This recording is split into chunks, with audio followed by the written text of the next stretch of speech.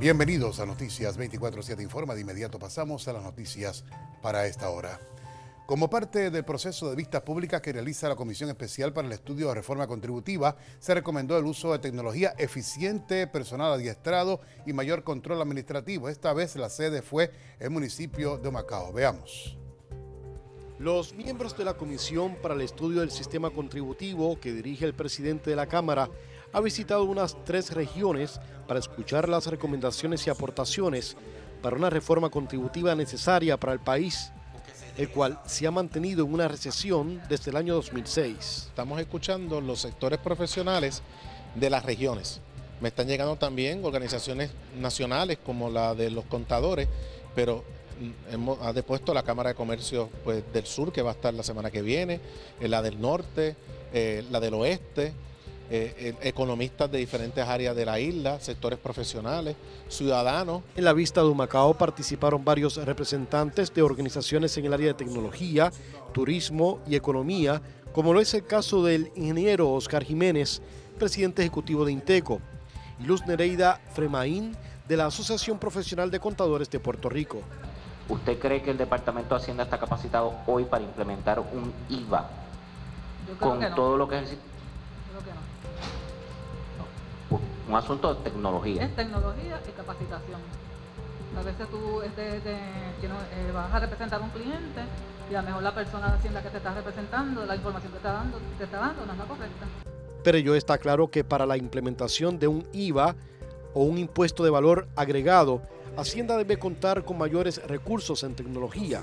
Bueno, la gente no confía en el Departamento de Hacienda, y eso es algo de tal vez toda la vida y el sector comercial, el sector académico, eh, los profesionales tampoco confían en el Departamento de Hacienda. Las vistas públicas hasta ahora han reflejado que hay que cambiar el IVA por un IVA, que es lo correcto. Ahora, la implementación y si el Departamento de Hacienda va a tener la tecnología para que sucedan dos cosas, que el empresario y el negociante, el negociante no se afecte, el comerciante no se afecte, porque la cadena esté funcionando. Y número dos, que el gobierno no se quede sin recaudos en momentos picos para asumir su responsabilidad de servicio. Y eso es lo que está viendo con mucho detalle. La próxima vista será en la región de Ponce. Félix Alemán, Noticias 24-7. Y así luce radar Doppler a esta hora, pero ¿cómo están las condiciones del tiempo?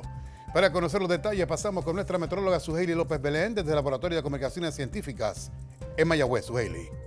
Muchas gracias, buenas tardes. Hoy tuvimos un día bastante variable. Aguaceros bastante fuertes ocurrieron en la zona sur de la isla, también en la zona metropolitana. Todo esto ha sido producto de una vaguada que aún persiste, además del flujo de vientos tan variable que hemos tenido el día de hoy. Tuvimos viento entrando del norte, del sur e incluso del este. Esta vaguada comenzará a alejarse desde esta noche, saliendo mañana sábado en la mañana, dando paso a la llegada de bastante aire seco. Pendientes ya que para la semana que viene se pronostica la llegada de un frente frío.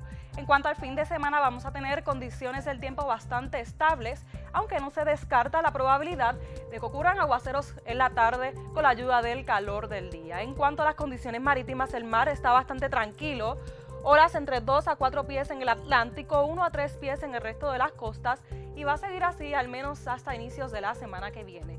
En el aire todavía sigue alto el nivel de polen y de esporas de hongos. De hecho, se estima que mañana vamos a tener niveles elevados de esporas de hongos. Cuidado alérgicos y asmáticos.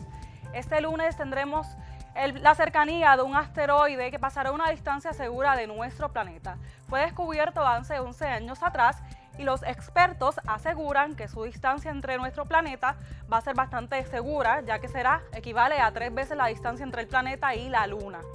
Hasta aquí el tiempo y ciencia. Buen fin de semana. Gracias, Sujel amigos. Para ver estas y otras noticias, visiten nuestra página noticias247.pr y síganos en nuestras redes en Facebook y Twitter. Buenas tardes.